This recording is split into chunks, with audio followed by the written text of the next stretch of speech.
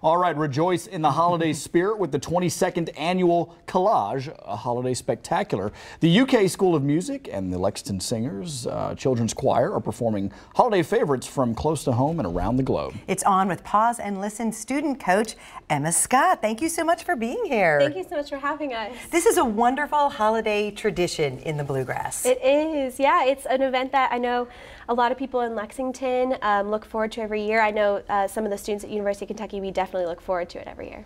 I, I heard you singing in the uh, the green room earlier, and I must say, I was.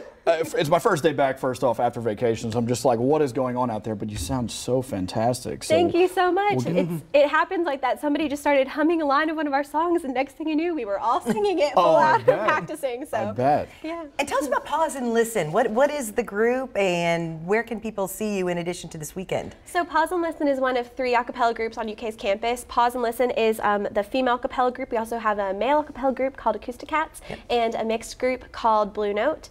Um, Pause sings all throughout Lexington. We sing on campus obviously a lot, but um, also throughout Lexington and throughout Kentucky. We try to do a lot of outreach in schools to kind of just, you know, promote kids to keep singing. About half of our group is made up of non-music majors, so it's a great way for us to, um, you know, kind of share. You don't have to be majoring in music to keep singing in college and throughout your life. We're looking at photos right now from Collage in Yeah. previous years. What is that experience like?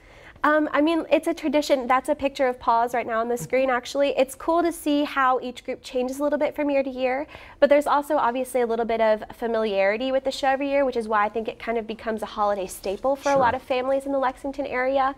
Um, it's cool that it also features ensembles, not just throughout the School of Music, but um, throughout Lexington as well. Um, the children's choir is featured. There's a handbell group called Alluring, as well as a couple of um, nearby high schools that will be singing too. Now, for someone who's never experienced this, or a cappella in general, what, what when they show up, are they going to experience at this? Well, I would say the probably the first big moment for any newcomer is the very first moment that you look on stage and you know all of the lights finally come up and you see the sheer number of people we have fit onto one stage.